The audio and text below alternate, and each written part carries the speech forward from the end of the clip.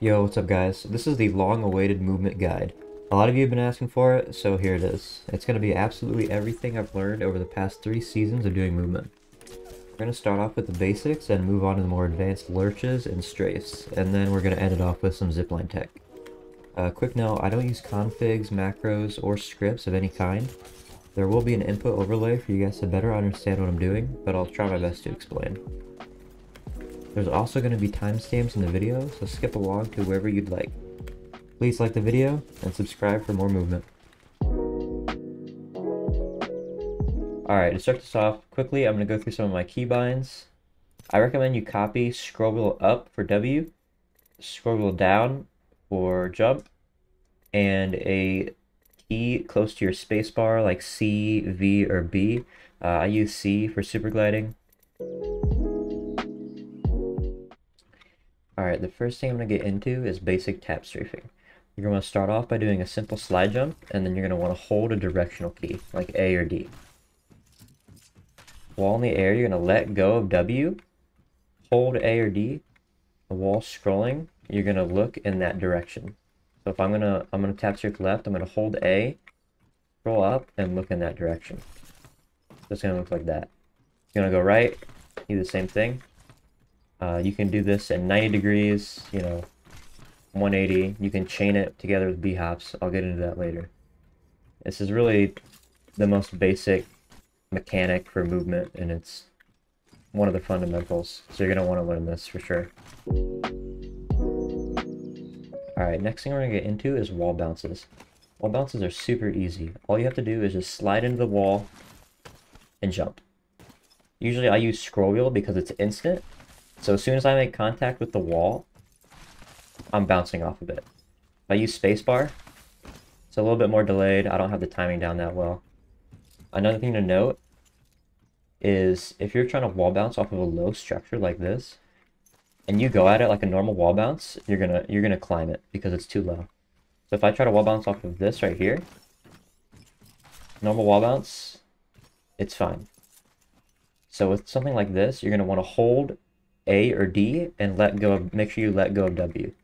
So if I hold D, I can now wall bounce off of it like a low structure. Hold A, that works. But if not, obviously you climb it. You can also implement tap strafing into your wall bounces. So after I jump off the wall, I'm going to hold A and then look left and tap strafe. Just like that. Super simple. If you're going the other way, you can do it by holding D. Another thing is you can skip the climb animation. So like that, you know, climbing, it's pretty slow. You tap strafe, you just tap strafe right over the wall. It's really helpful in gunfights. Obviously, you know, you're getting shot in the back, you're trying to run. Boom. Gone. They're stuck chasing you. gotta climb the wall. You tap strafe right over. Alright, so next up is jump fatigue wall bounces. These are like normal wall bounces, except you implement jump fatigue. What jump fatigue is, is basically after your first jump, every jump after that is going to be fatigue. So for a jump fatigue wall bounce, you jump once, go up to the wall like normal, and bounce off of it. So you just jump once, and then go for a normal wall bounce. You can do this with W by initiating the climb a little bit and then jumping. Or you can do what I do is I use A or D. Seems the most consistent. So you don't have to let go. You can keep doing it. With W, if you hold W, you're going to keep climbing it, and it's going to be awkward. Like that. But if you use A or D, it doesn't matter when you let go. So you cannot mess it up. So after a jump fatigue wall bounce, you're going to have jump fatigue again, as you can see. So you can infinitely chain these for as long as you want. And then you can also tap strafe out of them. You can use it to skip climb animations like last time. You have to be careful though because your jump fatigue will run out. So as you can see, jump fatigue, I wait a little bit, and it's gone. So if you wait too long after jumping, you won't be able to do a, a jump fatigue wall bounce. It's about two seconds after you jump, you can run to the wall, and then do it. You wait too long though, one, two, three, gone. One, two, still have it. Another thing to note is jump fatigue wall bounces go higher than normal wall bounces. We could check out here. About there, without moving my mouse, I'm gonna do another wall bounce. So as you can see, the jump fatigue went a lot higher.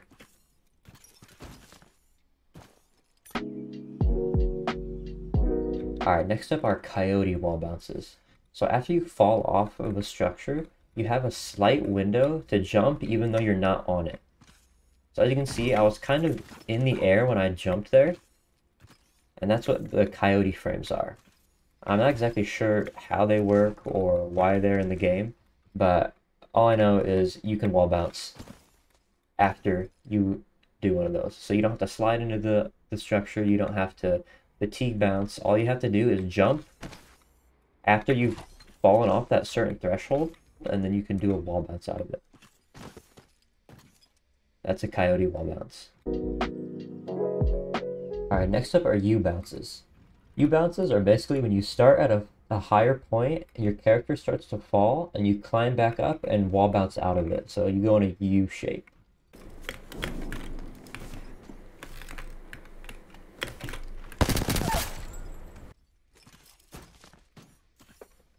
Like so.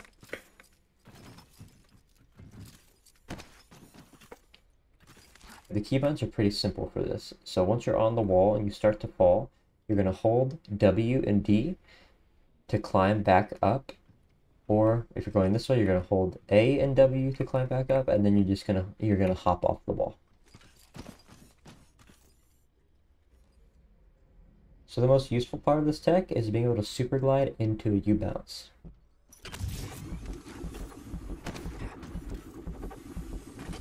So that's one of the most useful ways to use this tech is to super glide into a U-bounce.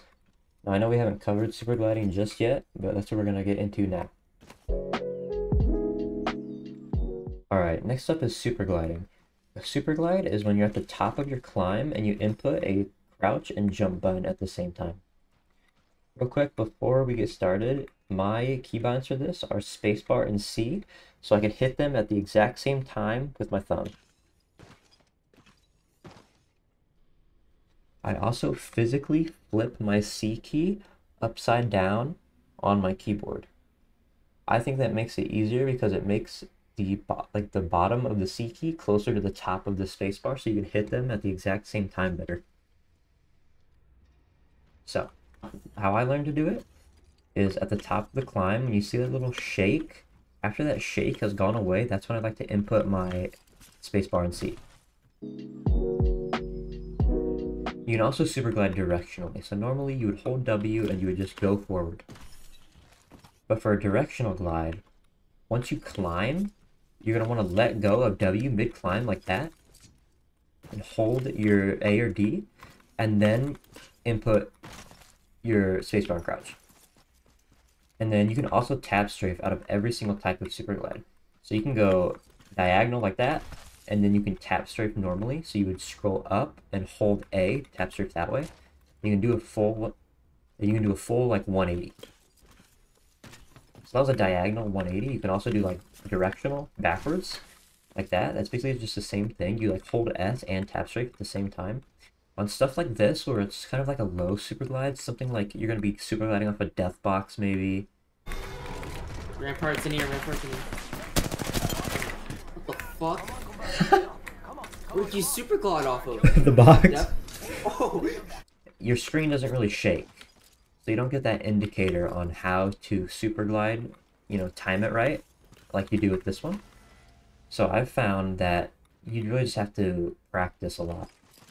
And it will just come naturally. You'll, you'll learn the natural timing on um, on exactly how to input your spacebar and crouch at the proper timing.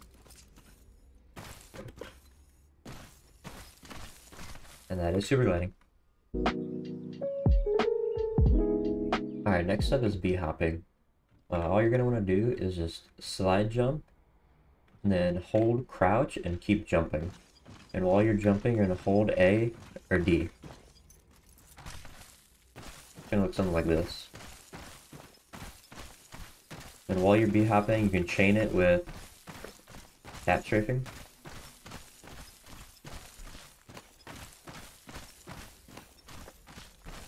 Pretty simple. Another thing, if you're to heal and b-hop, Come on, come on. it'll kind of fizzle out with other legends. When you're Octane and you stim, you can go basically full speed while healing. It's go time. Charging up my shields. Really helpful in fights. Alright, I'm gonna go over lurching really quickly. Uh, lurches are basically just using your movement keys in a certain pattern to achieve like a redirect midair. It's kind of like tap strafing, except you're not only just looking where you want to go. You just press like say WASD. I'll go in like a an L pattern, like a hook kind of, and then I'll tap strafe while doing that. As you can see. So I went left, and then I slid out of it, and then I went DSA. Another backwards lurch. So that's lurches. You can um you can do all kinds of them. That's kind of a little circular one. Um there's like forward and back.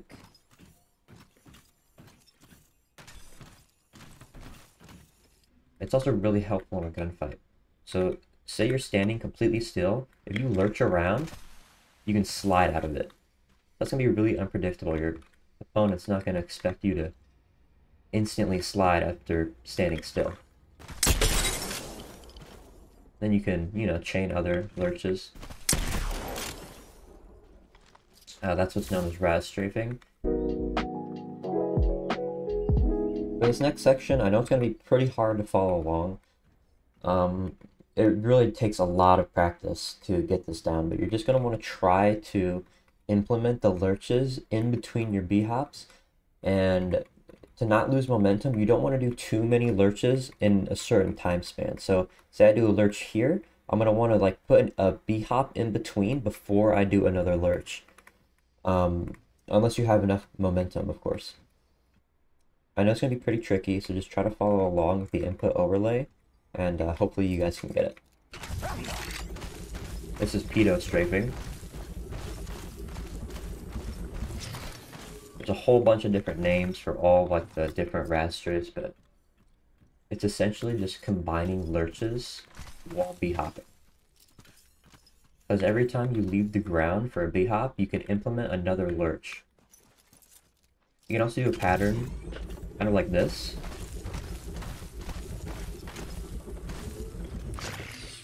It's basically just, you have to get the timing down really, really well. It's all about timing. Um, once you get lurches down, you really just have to play around with it. Um, that was kind of like an ASD pattern. So these are the config accusations coming for me. Everyone thinks that when I'm doing Ras strafing and I'm chaining all these different types of lurches after B-hops, that I'm neo strafing.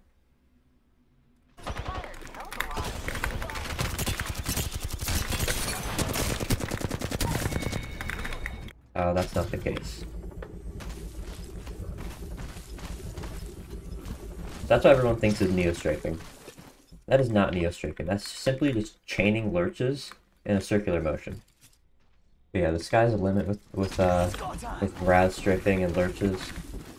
Um, I don't really know how I'm gonna explain the inputs to you.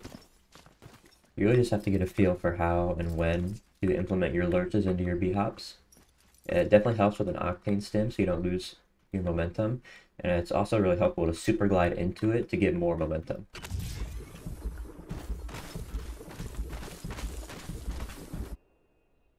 You can also shoot while doing this. So with my grip, I'm shooting with my pointer finger, I'm scrolling with my middle finger, and I'm aiming with my ring finger.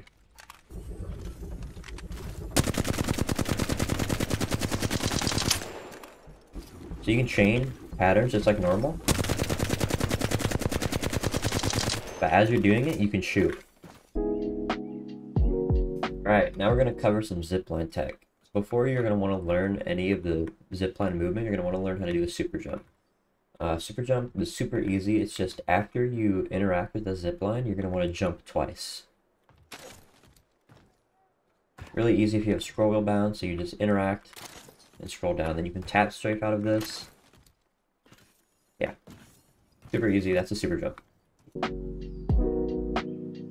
Alright, next up, I'm going to show mantle jumps. So for a mantle jump, you're going to want to press spacebar off the zip line while holding W to climb the ledge. So you're going to want to let go of W after you see the top of the floor and press S to cancel the mantle. Then after that, you're going to want to look down and interact like that. After you interact, you're going to instantly pull down for your super jump. So that's mantle jumping. Once again, just jump off, hold W, cancel the mantle with S, look down and super jump.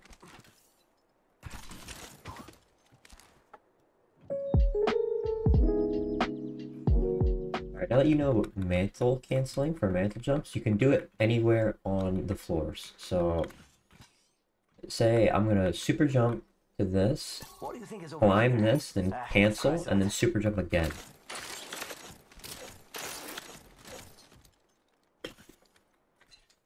You can also zip dance with this. So zip dancing is basically just canceling the mantle over and over and over. So what you're going to do is just like normal. You're going to climb. And then cancel your mantle. And then keep keep interacting. Like so. So climb climb, cancel, look up, and interact. That's it.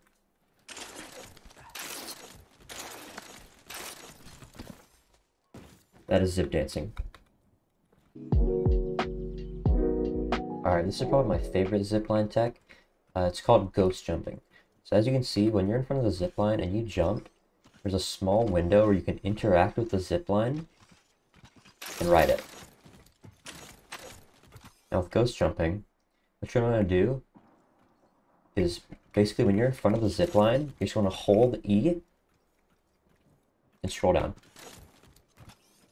Uh, this works with wall bounces, so you can wall bounce in front of the zip line while holding E and scrolling down. It'll send you send you out, like so.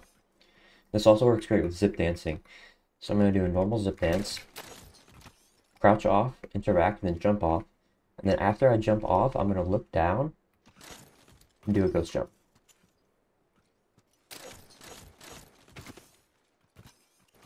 You can also wall bounce out of these. You can also just chain them infinitely.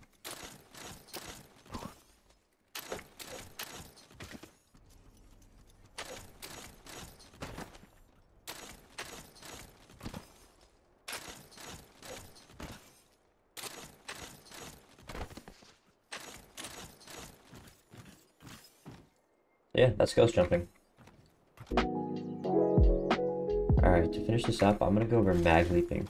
Now, mag leaping is basically just a heightened jump. And it's pretty useless.